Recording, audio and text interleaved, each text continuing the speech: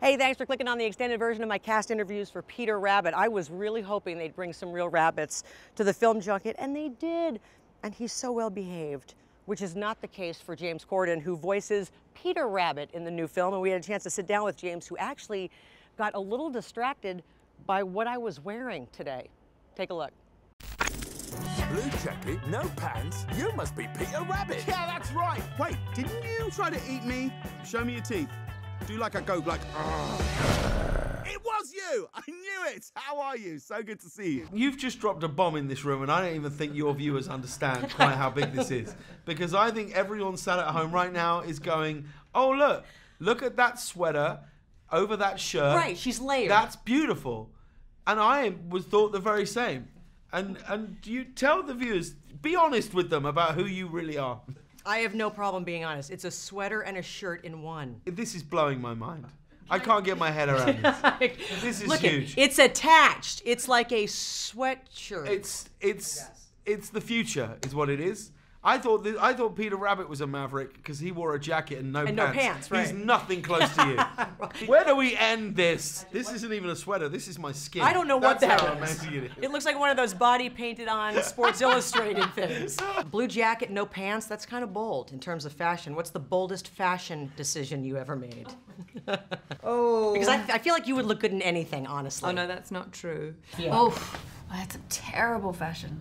Terrible, like bike shorts with Birkenstocks and a big weird t-shirt and like hypercolor t-shirt. Bet you made it work though. You see, this is annoying. no, no, is no, no, hearing no, I attractive people say, "I look terrible," and you see the photo and it's like, "That's No, better than I will didn't. ever." I really yeah, didn't. sure. No, no, I didn't. I on my. Were you biking at least, or was No, this like to go out? biking. Biking, like no, like weird, like Reebok, high high top Reeboks and stuff that's kind of now back in fashion. What is the most daring fashion choice you've ever made, though? I don't know. I just search for anything that fits. That's the truth. I feel like I've got. I used to have a wardrobe which was like a slimmer wardrobe and then a bigger wardrobe, and I've had to go slimmer, bigger, and bigger than that. I've really got to. Honestly, I keep pulling out jackets, and I'm like. I've started to convince myself that clothes shrink. It's not that I'm getting bigger. Fabric shrinks over time. No guts, no glory. Speaking of weight and, and being in shape, you had to have lost some weight doing this film because this isn't just a voice role, it's a very physical voice role. Got rid of him. Who's hungry? Well, you do do a lot of this.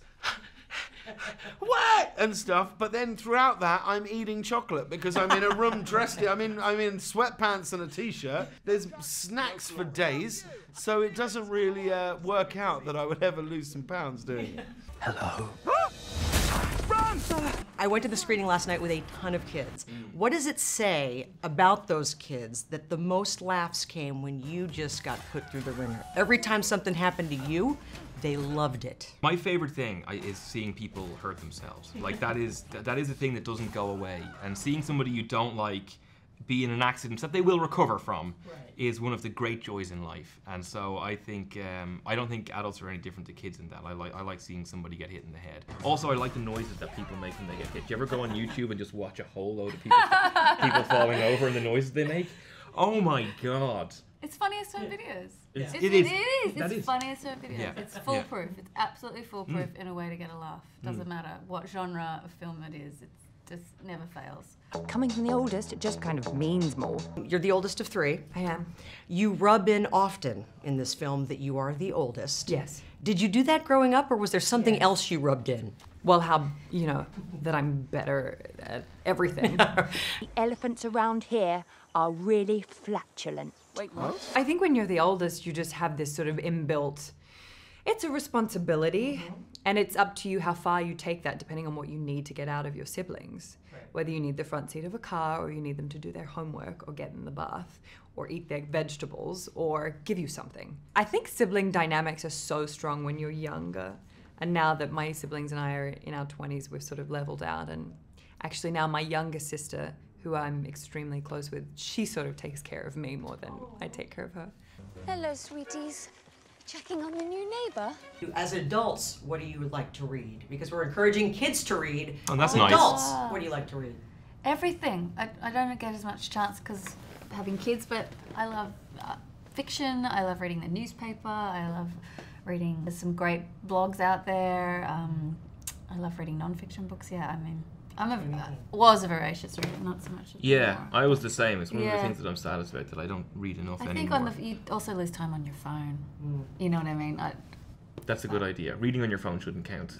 Were you into Beatrix Potter? Oh, there's look, there's no one who uh, who grew up in the United Kingdom that isn't in love with these stories, that didn't grow up having these stories read to them, and and and because of that, in, in truth, I, I felt sort of when they asked me if I would do the voice for, for Peter in this film, I, I felt slightly daunted by it because I just thought, am I the right voice? Is it right? You know, and then then they told me that there had been many many times over the last decades, in fact, that people have tried to make a Peter Rabbit film, and the Beatrix Potter estate had said no.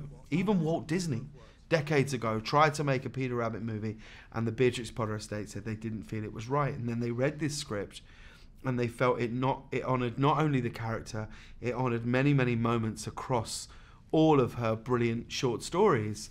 And so when I heard that, I sort of thought, well, what an honor, you know, to to be asked to be the voice for such a thing. So, um, I, I, I yeah, I, I immediately said yes, and I, and I have to say I've loved every single second of the process, you know. So if you go and see the film, Peter Rabbit's going to look like this or like that, and he's going to sound like me. I know he's standing up now, but quickly. It's okay. Okay, so because you did spend a lot of time talking about the sweater. It's Um, the sw- it isn't a No, sweater. It's a sweatshirt attached. Um, if you were to borrow someone's voice to play you, because Peter borrows, you said to the kids, he borrows my voice in this movie. Yeah. Whose voice would you borrow to voice you? to voice me. Yeah, if it couldn't be you. Well, I mean, I'm not a fan of my voice. Whenever I hear it back, I just think I sound like an idiot. So, um, you know, who would be a good person to voice me? Yeah, it's actually a bit confusing. Do you know what? Margot Robbie does such a good job voicing uh, her character in this movie. I'd let her have a go at my voice, you know? Or any Hemsworth. That's true. Yeah. Even Luke? Sure. Okay, we'll give Luke a chance.